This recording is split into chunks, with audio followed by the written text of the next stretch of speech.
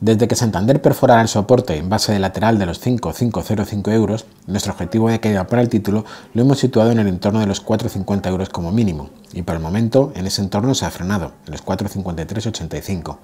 No tenemos figura de vuelta alguna que nos invite a pensar que se acabó la corrección, ni siquiera la entidad cántabra ha sido capaz de cerrar el hueco bajista dejado hace una semana en los 4,8880 euros o lo que es lo mismo, en la medida en que este hueco bajista no se cierre, no tendremos la más mínima señal de fortaleza real más allá del típico movimiento de rebote fruto de la extrema sobreventa alcanzada. Incluso un movimiento hacia los 5,505 euros encajaría la perfección dentro del típico pullback a la que en su momento fue zona de soporte, ahora resistencia.